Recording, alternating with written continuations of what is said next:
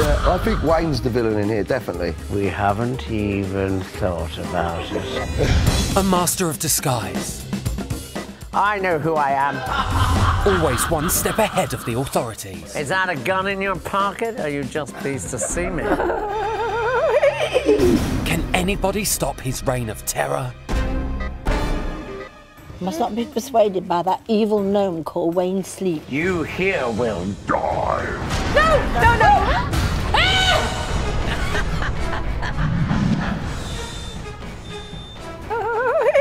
no! No deed is too dastardly. Stand back.